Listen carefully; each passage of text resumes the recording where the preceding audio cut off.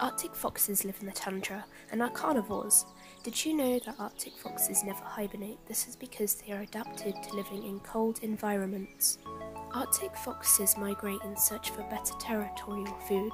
They hunt for small creatures such as lemmings, fish, birds, and Arctic hares, and they also eat insects and reptiles.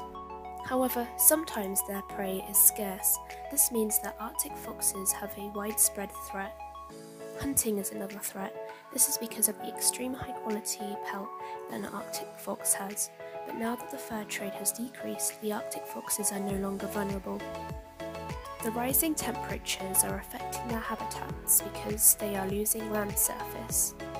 Did you know that Arctic foxes can travel up to 31 miles per hour? They also change the colour of their fur with the seasons, and they also have dark skin underneath their fur coat.